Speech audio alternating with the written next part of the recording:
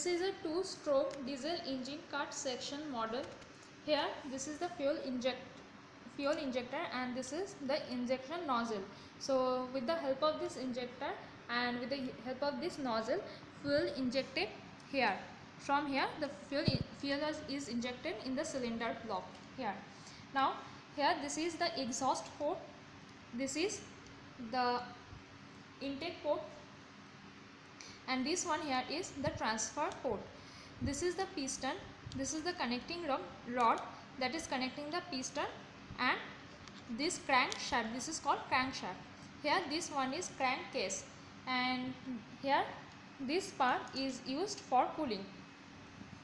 So as we have said that this is a two stroke diesel engine there are two stroke one stroke first stroke is so one stroke is when the piston is moving from top dead center this is the top dead center to bottom dead center and when the piston is an, another stroke is when the piston is moving from bottom dead center to top dead center.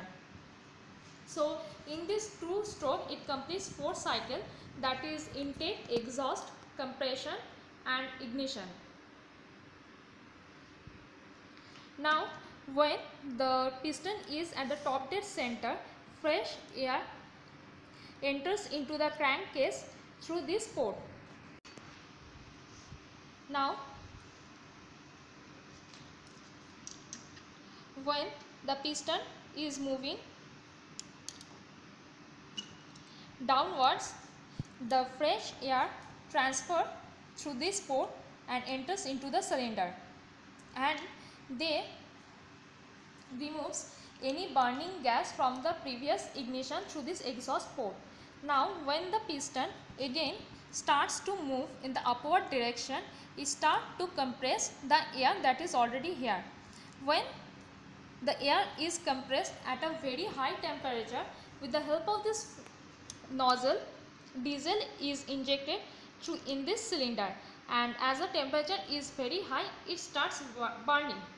As it starts burning, there develops a very high pressure Due to this, the piston moves downward like this.